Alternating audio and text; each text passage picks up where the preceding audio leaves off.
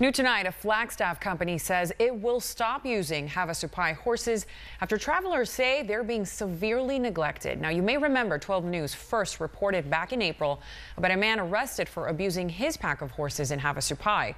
Now, the abuse of other horses now coming to light, and it's at the center of a social media campaign.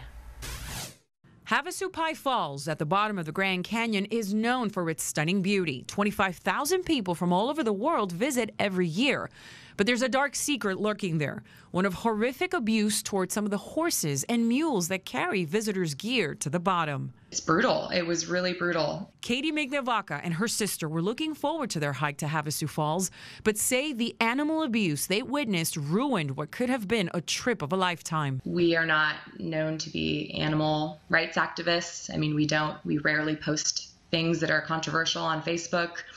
Migliavaca took pictures of horses with gaping wounds, hair rubbed off their backs from carrying several hundred pounds of gear up and down the trail day in and day out. She posted the images on Facebook and it's gone viral. Thousands of people have commented. Some claim to have witnessed similar abuse and were equally horrified. She's also spoken directly with the U.S. Attorney's Office, the same office which prosecuted Leland Joe of Havasupai for horse abuse two months ago. This has nothing to do with the tribe or attacking the people, you know, all of the people that live there. It's it's about just right and wrong. I don't care who it is. And as word spreads, at least one Flagstaff company, Wildland Trekking, announcing it will no longer use the horses because of the way they're being treated.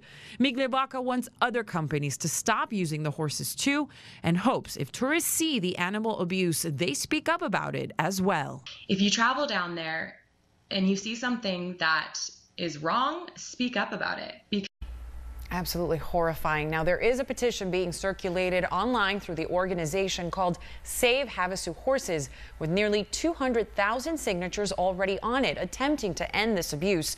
Now, we contacted the Havasupai Tribal Office for comment. The person who picked up the phone hung up on our producer.